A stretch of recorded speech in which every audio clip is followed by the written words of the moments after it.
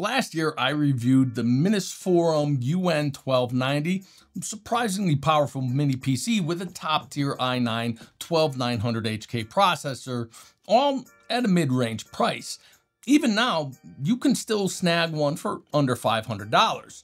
But recently, Minisforum sent me this, the NAB9 Pro, another mini PC rocking the same still capable 12900HK chip and the same sub $500 price tag.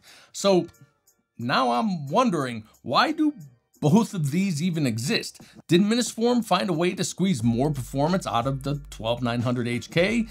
Is this new model more efficient? And they just dropped the old system into a fresh convertible chassis or is there maybe one feature that makes the NAB9 a completely different PC? Let's dig in and find out. It's the money. Let's take a look at what the NAB9 Pro is packing under the hood, literally. To access the internals, Minisforum included a spring-loaded toolless top panel, which is a nice touch for quick upgrades or maintenance. At the heart of this mini PC is the Intel Core i9-12900HK, a 14-core 20-thread mobile CPU from Intel's Alder Lake lineup with a max turbo boost of 5 GHz. It's the same chip used in last year's UN1290, and while it's no longer bleeding edge, it's still a powerhouse in a compact desktop. For graphics, you're looking at Intel's integrated Iris Xe GPU with 96 execution units clocked at 1.5 gigahertz.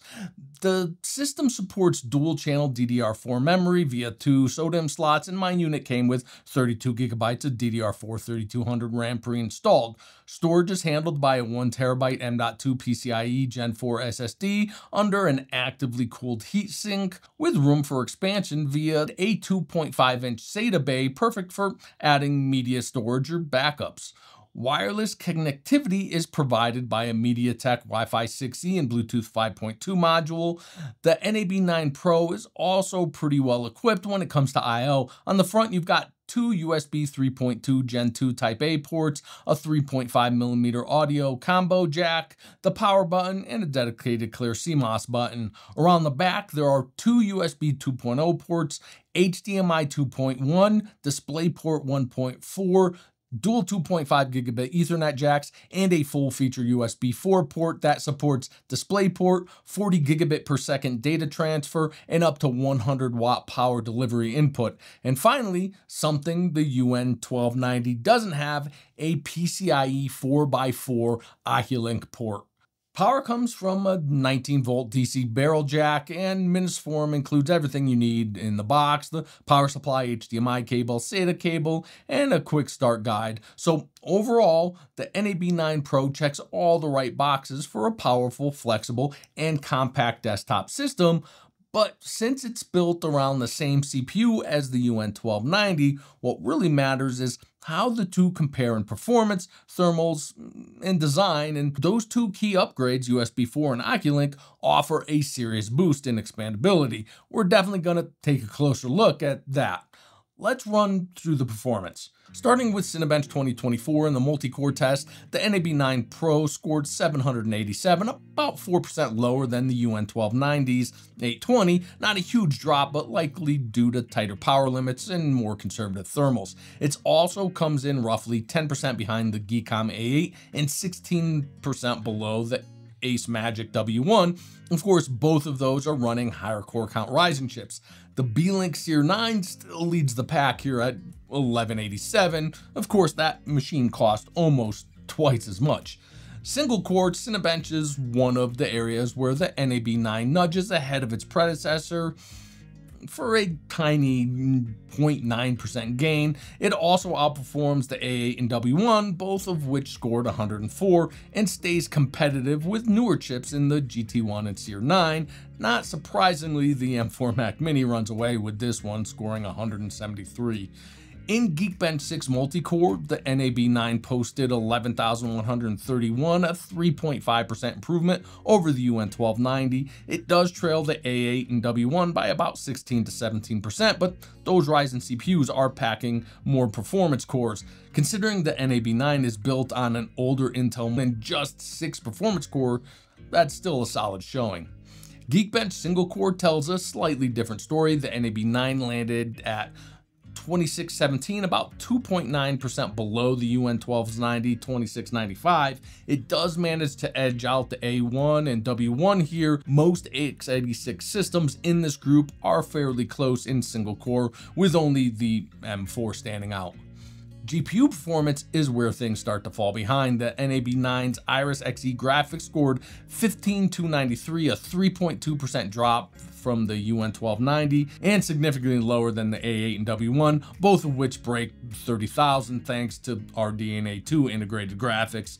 And this is where the Iris Xe starts to feel a little outdated. Photoshop performance though is a win. The NAB9 scored 7034, which is a 15.6% boost over the UN 1290 6083 and it actually beats the pricier MSI DP21 14th gen mini desktop PC which is a nice surprise at this price point. In Premiere Pro, the NAB9 hit 2337, which is about a 3.1% improvement over the UN 1290.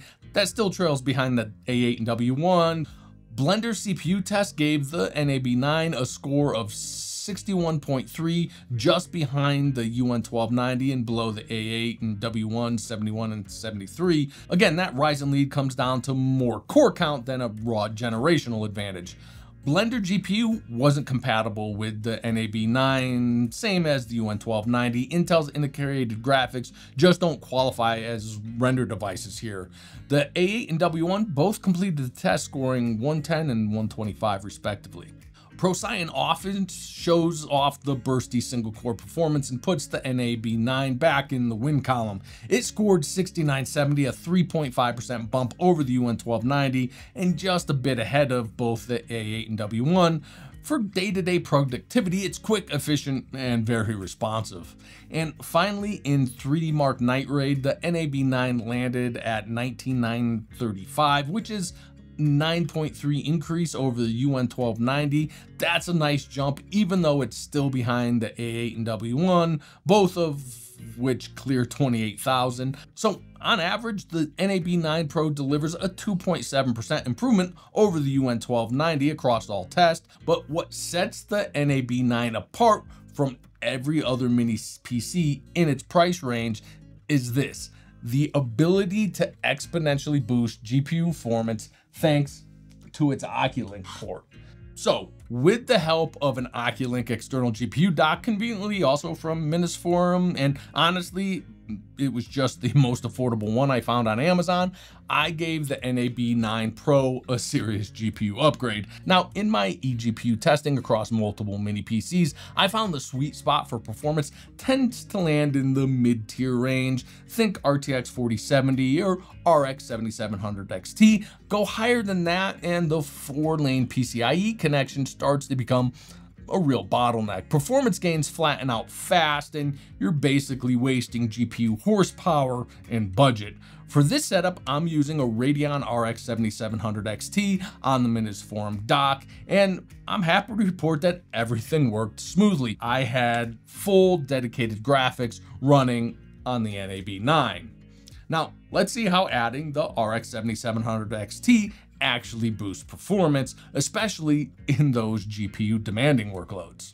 Starting with the Geekbench 6 GPU test, the improvement is massive. The NAB9 Pro's integrated Iris Xe GPU scored 15,293, but with the RX 7700 XT installed, that jumps to 118,337, a staggering 674% increase. That's well beyond the capabilities of any integrated GPU in the comparison, even outpacing the Mac Minis M4 at 57,898 and nearly tripling the Beelink SER9. In Photoshop, the system moves from a solid 7034 up to 7658, a 9% gain. Now, Photoshop is still largely a single core CPU dependent application, so you won't see massive gains from a GPU alone, but many of the newer effects and filters like blur gallery, neural filters, and some transformations do take advantage of GPU acceleration, and that's where the RX 7700 XT gives the NAB9 Pro a noticeable edge in real-time responsiveness. Premiere Pro shows one of the most dramatic gains. The NAB9's original score of 2337 more than doubles with the RX 7700 XT climbing to 6606. That's a 183% increase. This catapults it past all of the mini PCs on the chart and makes the NAB9 legitimately capable for high efficiency video editing. Then there's the Blender GPU test. This test wasn't even compatible with the NAB9's integrated graphics, but with the RX 7700 XT, the system completes the run with a score of 670. It's not ultra high-end workstation territory, but it's a night and day difference compared to being completely unsupported. And finally, in 3DMark Night Raid, performance jumps from 19,935 to 58,626, mm, an almost 200% increase. That puts the NAB9 Pro well into gaming capable territory. So adding a mid-tier card like the RX 7700 XT through Oculink doesn't just improve the NAB9 Pro, it transforms it. You go from a compact productivity focused mini PC to a legitimate 3D rendering and content creation machine. Yes, you're still limited to the 4 PCIe lane, so higher end GPUs won't scale linearly, but if you stick to that RX 4070, RX 7700 XT range, you're getting serious desktop class GPU performance. But I know you guys, and I know what you really want to see, especially once I slap in a desktop graphics card and that's gaming performance. Well, let's start with how the NAB9 Pro handles gaming on the Intel integrated graphics. As we flip through these results, you'll notice it pulls slightly ahead of the UN1290 in most cases, but even at 1080p with low graphical presets, none of these games are truly playable on the iGPU. The experience is choppy and consistent and just not enjoyable. However, once you pair that 5 gigahertz class CPU with a dedicated GPU, everything changes. Now we're looking at 1440p gaming on high to ultra settings with average frame rates approaching or blowing past 100 FPS, depending on the title. I was even able to play games like Cyberpunk 2077 and Stellar Blade, titles that aren't even remotely playable on the integrated graphics. The RX 7700 XT gave the NAB9 enough horsepower to comfortably run modern AAA games with smooth performance and high visual fidelity. Now, one thing Minisforum and honestly most mini PC manufacturers have been getting a lot better at lately is CPU power and thermal tuning. With the NAB9 Pro, Minisforum sets the PL1 right at the i9 12900HK's base level of 45 watts, but they've dialed the PL2 down from its max of 115 watts to just 65 watts, and that's actually a smart move. Basically, lowering PL2 to 65 watts limits peak burst performance in synthetics tests, but it improves real world sustained performance by avoiding thermal saturation. You'll see higher scores in Cinebench with a 115 watt spike, sure, but for real world mixed or multi core workloads, keeping the CPU cooler and more stable leads to higher average performance over time. And that's exactly what we saw here. The NAB9 Pro outperformed the UN1290 in real world tasks like Microsoft Office, Photoshop, Premiere, the gaming benchmarks, and falling slightly behind in Cinebench. During a Premiere Pro export, the NAB9 behaves just like you'd expect from a mobile Alder Lake CPU. It boosts hard and fast, hits its thermal limit quickly, and then settles into a sustained 45 watt package power at around 3.2 gigahertz, with CPU temps holding in the mid 80s. This tuning allows individual cores to boost slightly lower but for longer, resulting in higher average clock speeds across the workload. It's a more efficient balance of power, frequency, and temperature that delivers better performance overall. Outside of that initial all-core turbo spike at the start of a heavy task like video exports, the NAB9's effective core temps stay well below thermal throttling thresholds. But now, the biggest complaint I have about the NAB9 is the fan tuning. The overall noise level is reasonable, maxing out at around 50 decibels, but the ramp up and ramp down behavior is very abrupt. And honestly, that's more annoying than just if it was loud. On top of that, the fan operates in the 1300 to 1700 hertz range, which is a higher pitched whine that's particularly irritating, especially when paired with the sharp, sudden changes in fan speed.